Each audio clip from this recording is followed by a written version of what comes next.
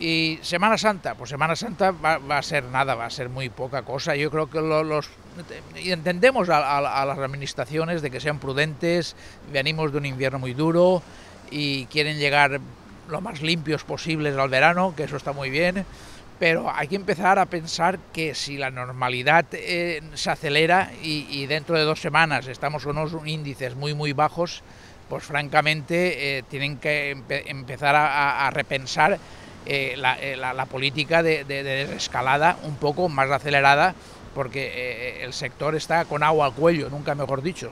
Nos hace falta ese salvavidas de, de, forma inmediata, no sea que, que, cuando venga el salvavidas ya, ya nos hemos ahogado, que eso puede pasar en alguna empresa y en algún sector. ¿no? Entonces, con esto tenemos que ir con, con, mucho cuidado y hay que. Nosotros siempre hemos dicho que primero la, lo, los datos y después las fechas, pero cuando los datos den, tampoco podemos estar eternamente esperando a ver si, si, hemos acabado con el virus. No, no, hay, hay, hay, yo creo que en toda Europa y en España hay mucha prudencia en cuanto a reservas, porque como no lo ven claro y han tenido tantos ahora voy, ahora no voy, ahora cierro y ahora no cierro.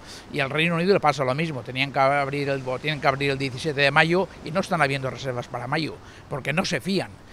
Bueno, esto es, digamos, un sumando de, de, de pérdidas. Esto es como la, como la, cangrena, te va comiendo, te va comiendo, va comiendo. Y, y, y la verdad que, que, esto es de Semana Santa y la primavera aquí en Benidorm y bueno, en muchas zonas de España es, es importante no perderla.